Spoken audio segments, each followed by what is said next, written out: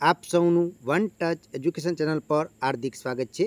તો college admission બે હજાર ચોવીસ માટેની જે પ્રોસેસ ચાલી રહી હતી, એની અંદર કુલ ત્રણ સ્ટેપની અંદર કામગીરી થવાની હતી. હવે સ્ટેપ એક છે, એ પૂરું થઈ ગયું છે. તો હવે વિદ્યાર્થી મિત્રો, કોલેજની અંદર એડમિશન મેળવવા માટે સ્ટેપ બે અને સ્ટેપની અંદર કયા પ્રકારની પ્રોસેસ કરવાની છે, ખાસ કરીને વિદ્યાર્થીઓએ અને એની અંદર પ્રોસેસ કરી અને તમારું એડમિશન જે છે એ કન્ફર્મ કરવાનું છે. એની તારીખ સાથેની માહિતી તમને આજના વીડિયો અંદર આપવાની છે. અને ઘણા બધા વિદ્યાર્થીઓને એ પણ પ્રશ્ન છે કે મેરિટ લિસ્ટની અંદર નામ ના આવે તો શું એડમિશન મળશે કે નહીં મળે? એ બાબતે પણ આપણે ચર્ચા કરીશું. તો તમે અહીંયા જોઈ શકો છો કે અંડર ગ્રેજ્યુએશન પ્રોગ્રામની અંદર પ્રવેશ મેળવવા માટે વિદ્યાર્થીઓને કેટલાક પગલાં ભરવાના હતા. જેની અંદર ઓલરેડી તમે જોવા જો તો કે બે છ બે હજાર ચોવીસ સુધીમાં તમે સ્ટેપ એક પૂર્ણ કરી દીધું છે. એટલે કે એની અંદર તમે રજિસ્ટ્રેશન કરી દીધું, શૈક્ષણિક માહિતી તમે ભરી નાખી, કોલેજની પસંદગી કરી નાખી રજિસ્ટ્રેશન ફી ભરી નાખી અને તમારી અરજી સબમિટ પણ કરી દીધી છે. હવે આપણે સ્ટેપ બેની અંદર શું કરવાનું છે? તો સ્ટેપ બે ખાસ જુઓ તો એના માટેની તારીખ કઈ છે? તો સાત છ બે હજાર ચોવીસથી લઈ અને દસ છ બે હજાર ચોવીસ સુધી આ તારીખની વચ્ચે તમારે કઈ કામગીરી કરવાની છે? તો આ તારીખની અંદર જોવા જઈએ તો કે સ્ટેપ બેની અંદર શું થશે? તો કે જીકાસ પોર્ટલ ઉપર કામ ચલાવ પ્રવેશ યાદી મૂકવામાં આવશે અને એ પ્રવેશ યાદી તમારે ચેક કરવાની છે. કોઈ પણ કોલેજની, દરેક કોલેજની પ્રવેશ યાદી મૂકવામાં આવશે અને એ કોલેજની અંદર જેટલી પણ પ્રવેશ યાદી મૂકેલી હોય, એમાં કોઈ ક્વેરી હોય, ગ્રીવન્સ હોય, તો તમારે એ જે તે કોલેજ ખાતે અથવા તો જે તે યુનિવર્સિટી ખાતે તમારે એની નોંધણી કરવાની થશે. એટલે કે આ જે તારીખો છે, એટલે કે સાત છ બે હજાર ચોવીસથી લઈ અને દસ છ બે હજાર ચોવીસ સુધી તમને જીકાસ પોર્ટલ ઉપર તમારું જે કામ ચલાવ, મેરિટ યાદી બહાર પડે, એ યાદીની અંદર તમારું નામ ચેક કરવાનું છે, તમારા મેરિટ કેટલું હતું અને એ આગળ, તમારા કરતાં ઓછા ગુણવાળા કે ઓછા ટકાવાળા વિદ્યાર્થીઓ આગળ છે અને તમારું મેરિટનું નામ પાછળ છે, એવું છે કે નહીં? એ તમારે ચેક કરવાનું છે. કોઈ પણ ક્વેરી હોય તો તમારે જે તે કોલેજની અંદર અથવા તો યુનિવર્સિટીની અંદર ફોર્મ ભર્યું હતું, ત્યાં આગળ તમારે એની નોંધણી કરવાની થશે, બરાબર?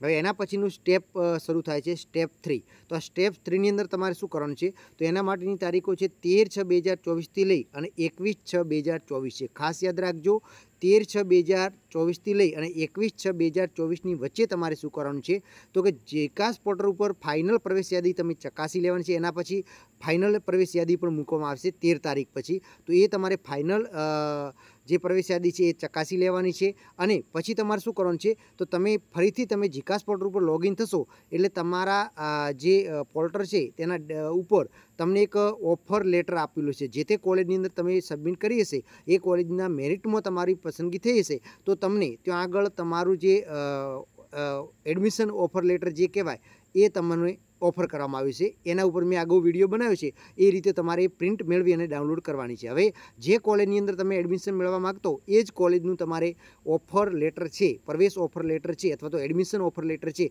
એ તમારે પ્રિન્ટ મેળવી અને ડાઉનલોડ કરવાનું છે. એનો ઓલરેડી આપણી ચેનલ ઉપર વીડિયો બનાવેલો છે. એ વીડિયો તમે ન જોયો તો જોઈ નાખજો.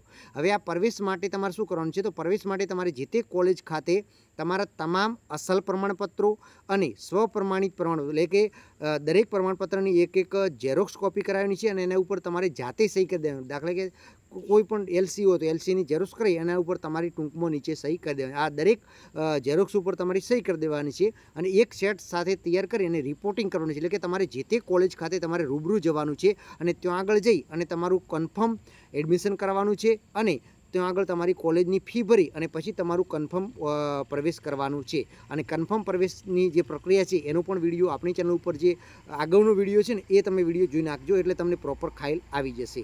હવે જે વિદ્યાર્થીઓ માની લો કે એવા વિદ્યાર્થીઓ છે કે એમને મનપસંદ કોલેજ નથી મળતી અથવા તો મનપસંદ સબ્જેક્ટ એમને નથી મળતો, તો એ શું કરશે? એ પ્રથમ રાઉન્ડની અંદર કોલેજ કન્ફર્મ કરશે નહીં. હવે જે વિદ્યાર્થીઓ પ્રથમ રાઉન્ડની અંદર કોલેજ કન્ફર્મ નહીં કરે, એવા વિદ્યાર્થીઓ અને બીજા જે મેરિટની યાદીમાં નથી આવેલા, એવા વિદ્યાર્થીઓ માટે બીજો રાઉન્ડ પાડ પડશે. અને બીજા રાઉન્ડની અંદર પણ તારીખો તમે જોઈ શકો છો, સત્યાવીસ છ બે હજાર ચોવીસથી લઈ અને ઓગણત્રીસ છ બે હજાર ચોવીસ સુધી છે. અને આની અંદર બીજા રાઉન્ડમાં જો તમે મેરિટની અંદર આવી જુઓ છો તો તમારે સેમ પ્રોસેસ કરવાની છે, કોલેજમાં જવાનું છે, અસલ ડોક્યુમેન્ટ લઈને જવાનું છે પ્રિન્ટ અને તમારે જે ઓફર લેટર જે એડમિશન લેટર છે એ ડાઉનલોડ કરવાનું છે અને તે લઈ અને તમારા કોલેજમાં રૂબરૂ જઈ અને તમારું ઓન એડમિશન કન્ફર્મ કરી દેવાનું છે ફી ભરીને.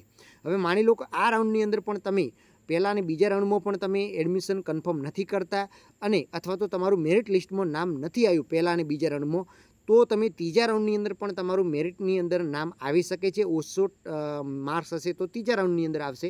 અથવા તો તમે પ્રથમ અને બીજા રાઉન્ડમાં જો પસંદગી નહીં કરી હોય, કન્ફર્મ નહીં કર્યું હોય, તો ત્રીજા રાઉન્ડની અંદર તમને તક મળશે.